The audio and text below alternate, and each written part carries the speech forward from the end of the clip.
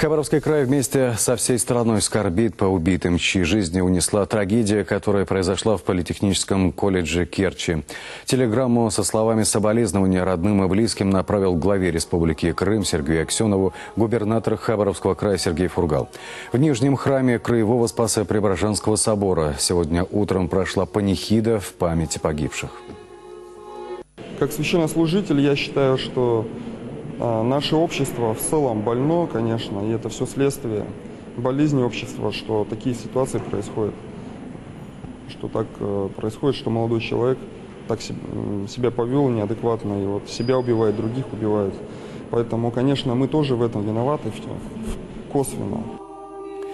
Сегодня вечером в 19 часов в Хабаровске на Комсомольской площади возле Успенского собора состоится акция памяти жертв трагедии.